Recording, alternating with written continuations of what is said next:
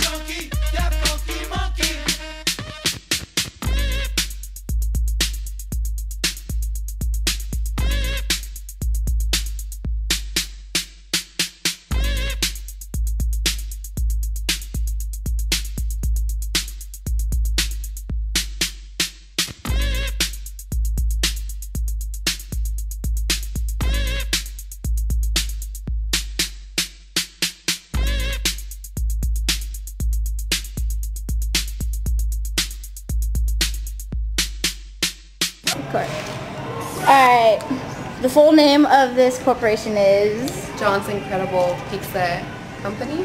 is it privately owned or part of a co- corporation? It's part of a corporation, I think. Most likely, yes. Um, is this a subsidiary or a franchise? A franchise.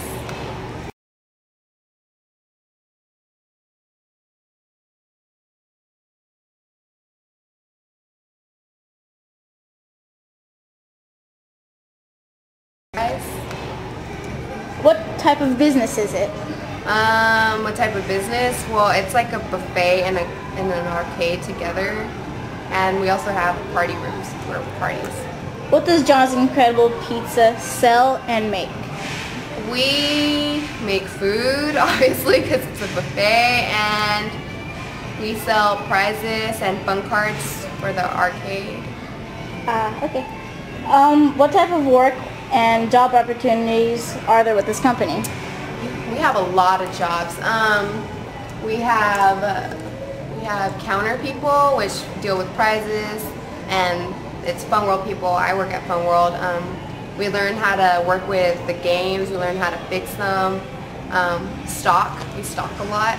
We also have party hosts. They learn how to deal with families and how to have fun and keep the party happy and going.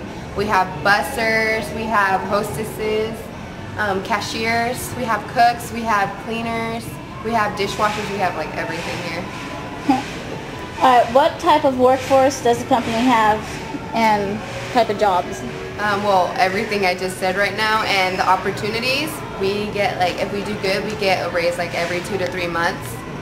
And there's always something higher we can be doing. Like if I'm an employee, I can become a red hat, which is like a, a boss for an employee.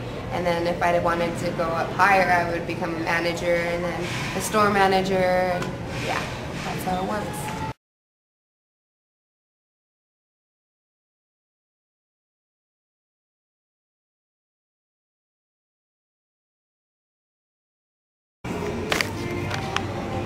When was this business started?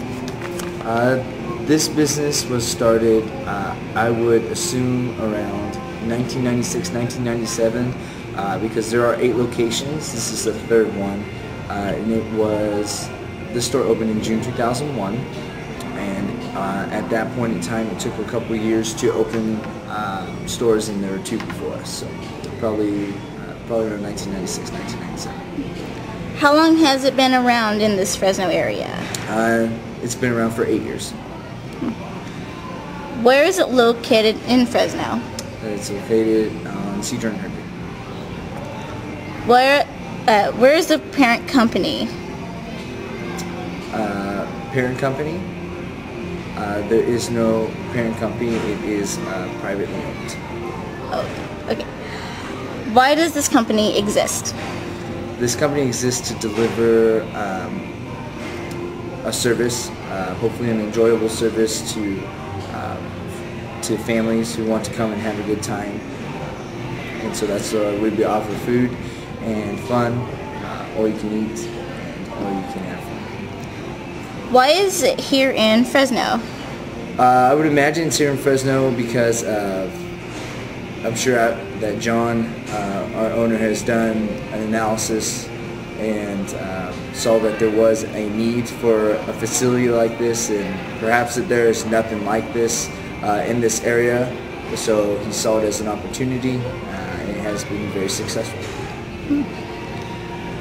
Why is it located in this current location? Um, kind of, kind of the same thing. Um, probably, probably a lot of factors in consideration there. Um, probably uh, rent, um, the, uh, the the type of people who who occupy this uh, who occupy this area, uh, and wanting to be in a reasonable distance uh, between other closer cities as well. How did this company get its start?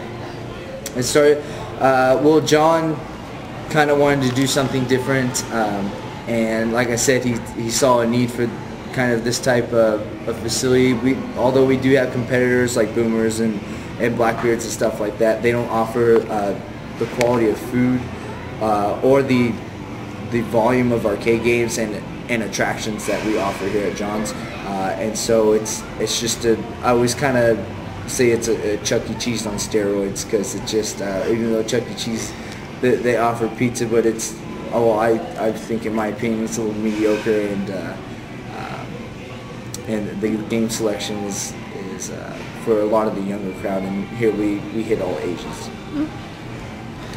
How do you market your productions and services? That's actually uh, funny because we we really don't do any type of marketing. The building is is a fairly big building, and uh, there's just different marketing tools is uh, that we use. Is once you're in the building, uh, we have what's called a, a VIP card, and it's to reward our our frequent people who uh, who dine with us.